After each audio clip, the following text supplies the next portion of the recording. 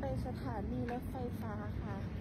มาดู total look วันนี้กันดีกว่าค่ะ กระโปรงเป็นของ Almos นะคะ เสื้อด้านในเป็นของ Uniqlo blazer เป็นของ Zara ค่ะ คือก่อนมานะคะ เพื่อนก็บอกว่าไม่ต้องเอาเสื้อผ้ามาเยอะให้มาซื้อที่นี่เอา มันก็จริงนะคะแทบจะไม่ได้ใส่อะไรที่มาจากไทยเลย มาดูลุคที่ 2 กันดีกว่าค่ะ เสื้อยังเป็นของ Zara นะคะ ส่วนกางเกงเนี่ยเป็นแบรนด์ local ของที่นู่นนะคะ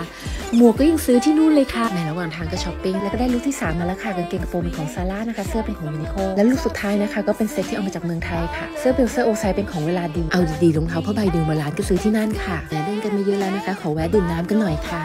แล้วก็ลาไปด้วยบรรยากาศที่ญี่ปุ่นนะคะบ๊ายบายค่ะ